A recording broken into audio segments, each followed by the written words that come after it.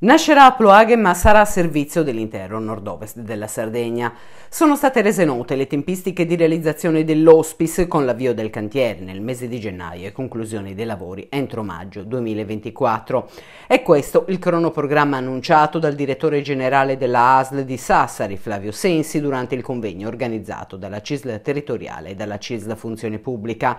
Nell'incontro dal titolo Un hospice a Ploaghe, ma per l'intero territorio, svoltosi nell'ex convento dei Cappuccini, il manager dell'ASL ha illustrato l'iter di conclusione dei lavori dell'hospice, otto posti letto dedicati alla presa in carico delle persone affette da patologie inguaribili in fase avanzata e malati in fase terminale che hanno bisogno di un'assistenza di cure palliative, una struttura che si pone come obiettivo quello di accompagnare e migliorare la qualità di vita del paziente, controllando non solo i sintomi della malattia di base, ma anche fornendo un supporto socio-psicologico sia al malato che alla famiglia. L'hospice, finanziato con un milione di euro di fondi regionali, verrà realizzato all'interno della struttura sanitaria San Giovanni Battista di Ploaghe. L'iter della progettazione esecutiva avverrà in questi giorni di ottobre e successivamente seguirà la procedura negoziata per l'affidamento delle opere. Le procedure organizzative, ha precisato Sensi, non possono però prescindere da alcuni importanti elementi. Non può prescindere eh,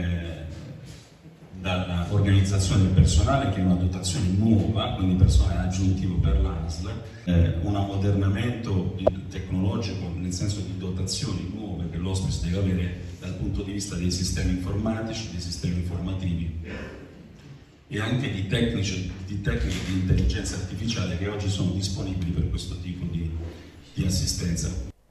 Prima Ploaghe e poi Sorso annunciano dall'AS numero 1 per dotare il territorio del meglio delle infrastrutture tecnologiche e applicativi disponibili sul mercato che consentiranno un miglioramento della qualità delle cure e del benessere lavorativo del personale.